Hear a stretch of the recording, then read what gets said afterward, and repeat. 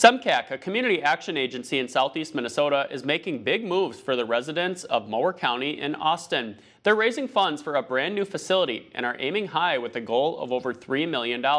They're hoping to reach $50,000 with a spring fundraiser.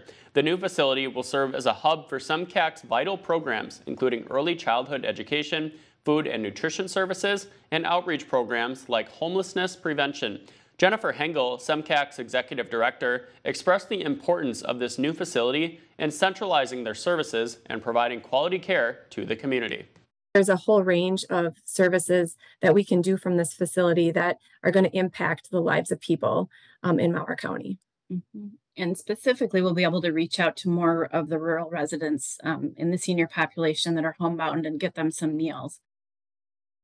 The first $5,000 donated by new donors will be matched by an anonymous donor. SEMCAC will be clearing the desired site with a demolition, demolition scheduled for late May or early June.